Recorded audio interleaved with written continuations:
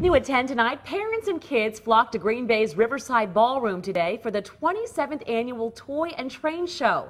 More than 50 vendors were on hand from all throughout northeast Wisconsin. Displays included everything from toy trains and ships to model kits and slot cars.